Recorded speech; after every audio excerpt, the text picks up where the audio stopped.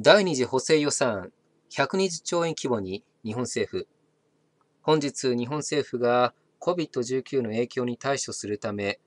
120兆円規模の第二次補正予算案を決定いたしました。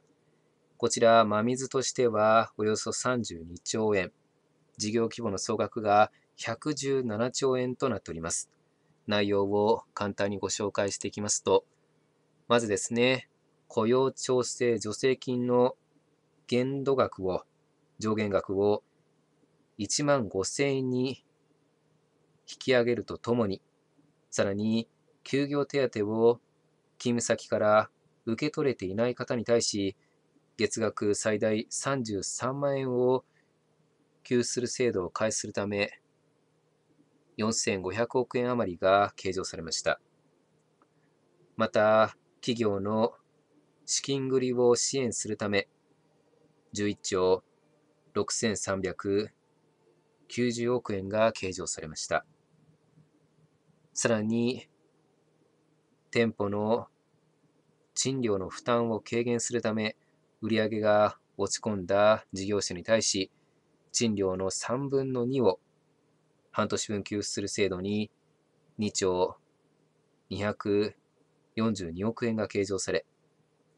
また、医療体制を強化するために2兆892億円が、2兆9892億円が計上されました。こちら、医療関係者への医療金も含まれております。さらに、地方創生臨時交付金をおよそ2兆円に増額するほか、予備費についても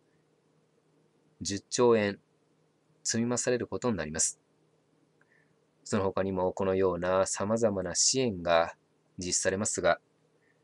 この第二次補正予算については全額が国債によって賄われることになります。こういった政府による支援、今後も継続的に必要になるものと思われますので、政府には今後も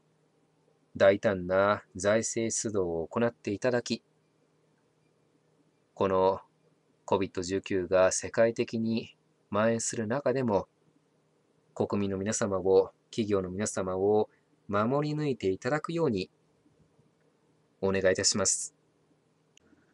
以上になります。ご清聴いただきありがとうございました。